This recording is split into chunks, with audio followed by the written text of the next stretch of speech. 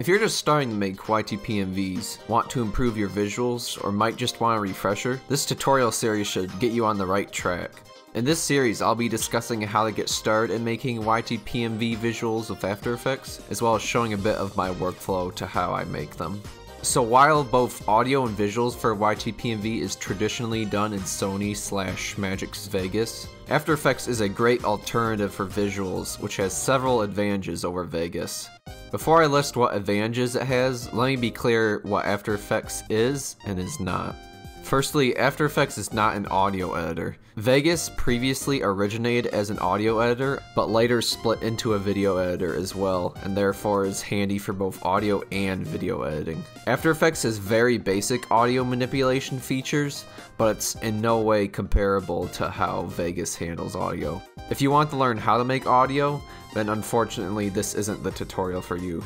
But if that's what you would like to learn, I've provided a few links to some resources for using Vegas and an alternative Reaper for making YTPMV audio. Secondly, After Effects is not a video editor, at least from a general usability standpoint. While it's true you can edit video in After Effects, and it's true you'll be doing some basic editing inside of After Effects when making YTPMVs, it's not its primary usage, and there's a lot better tools suited for that task. After Effects relies heavily on caching previews, whereas most video editors aim for real-time playback, which After Effects can't always provide. If you want to do only simple video editing, Premiere or even Vegas would be better suited for this task. Now, what After Effects is, is it's a solution for visual effects and motion graphics, and lots of other small things in between. These aspects make it an extremely powerful tool for visuals over Vegas, which obviously YTPMVers have pushed the limits for, but after watching this tutorial series, you'll quickly see how far you can go past the limits of Vegas.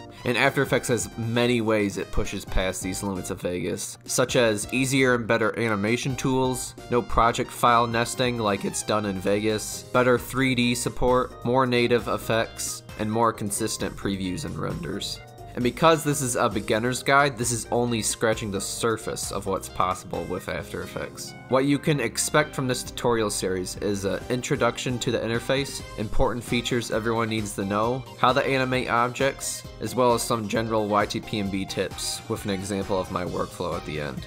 Advanced topics such as rotoscoping, 3D layers, and expressions I've mostly left out from these tutorials because I deem them to be not necessary if you're just starting out. And you can look into these later if you find them interesting, but it may be something I cover in the future. And I think it's important to note this is really only a guide for the program itself and how to accomplish some YTPMV style techniques with it. The tool you use does not make a video, but rather it's how you use the tool. That being said, in the long run, using After Effects over Vegas should make it easier to accomplish what you want. So along with that, it's good to have a good imagination and even beyond that, I'd highly recommend learning about basic composition, color theory, storytelling, etc.